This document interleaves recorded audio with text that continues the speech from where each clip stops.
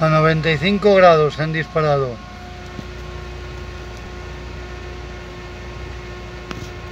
A ver a cuánto baja.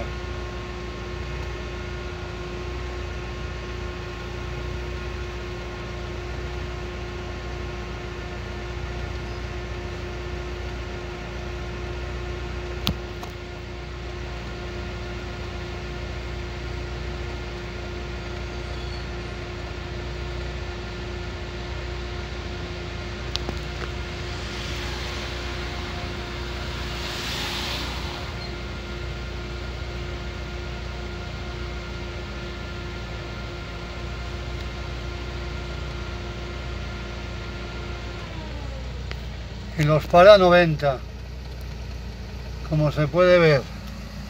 Perfecto. Es la temperatura que yo quería